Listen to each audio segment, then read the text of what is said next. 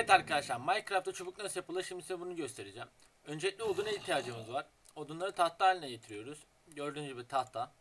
Tahtaları da aynı şekilde şu şekilde koyuyoruz. Gördüğünüz gibi çubuk elde ediyoruz. Çubuk yapımı bu kadar basit arkadaşlar. Bir dahaki videoda görüşmek üzere.